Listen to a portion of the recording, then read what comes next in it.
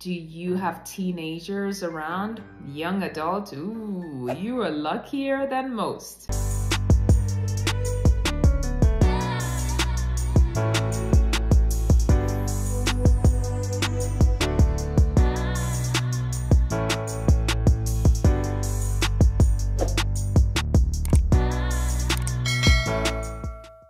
Get your biography done with some help.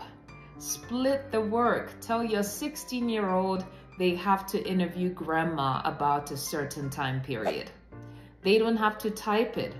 They can dictate grandma's answers into their phone at note. Tell your 21 year old to organize pictures according to who is in them so that you can review and discuss what was happening at each particular time point. Tell somebody else your job is to maybe transcribe, maybe someone who's fast at typing or who has a little more time. You can split the project. If you're, for example, working on your autobiography and you have younger relatives, children, niece, nephew, that sort of thing, who are interested in helping you out, you can certainly capitalize on it. Does not have to be all on you. Split the work. That is one way to get it done and make it easier. If you're writing for an elderly grandparent or parent, hey, get everybody involved. It makes it a fun family project. People all get to talk to this older relative They learn about things that happened before and that can be really special. That provides a great bonding opportunity, by the way. I remember once my kids sitting around with my dad who's in his 70s and asking him questions about when you were a child, did this happen, did that happen?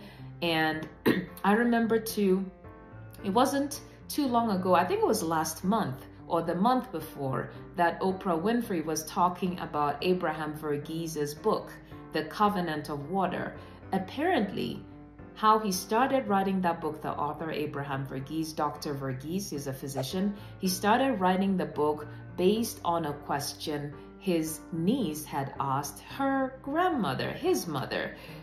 Uh, she said, Grandma, tell me how it was when you were a little girl. So I'm just trying to say how these questions can be so exciting for our older relatives to hear us ask them and they're often very happy to oblige and tell us this and so you can get the young ones involved split the project makes it fun takes the pressure off of you. You're not doing it all alone. You might be the one to put it all together but i tell you i've written and published for people it's easy. The putting together is easy. The hard part is getting the material. And that's where you got to split the work, have different people doing different things. Teenagers, young adults, people around you who are old enough to do this and who have a little bit of time to spare.